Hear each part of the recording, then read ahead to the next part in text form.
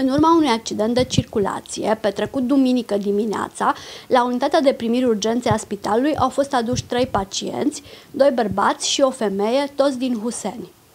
Femeia, în vârstă de 24 de ani, a fost diagnosticată cu traumatism de bazin prin accident rutier, contuzie de șol drept, contuzie coană cervicală și sarcină săptămâna 25 în evoluție. Pacienta a fost internată în secția ginecologie. Pacientul în vârstă de 30 de ani a fost diagnosticat cu politraumatism prin accident rutier, traumatism cranian acut minor și o fractură de stern și a fost internat în secția ortopedie. Pacientul în vârstă de 16 ani a fost diagnosticat cu politraumatism prin accident rutier, traumatism craniocerebral acut minor, hematom epicranian parietal drept, este internat în secția chirurgie infantilă. Toți cei trei pacienți sunt stabili, însă rămân internați în spital pentru supraveghere și tratament de specialitate.